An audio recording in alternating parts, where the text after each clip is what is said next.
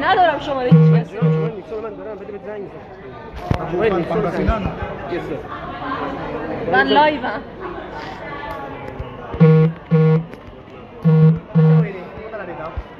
I'm here Manila airport I'm telling you they are not allowed to send me to back to Iran but they are not listening I'm telling you that Iran public Islamic is a terrorist they will kill me but they are not listening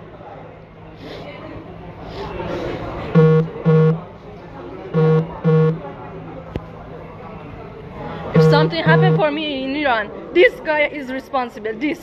He is not listening. Just share it. Send it to foreigner affairs.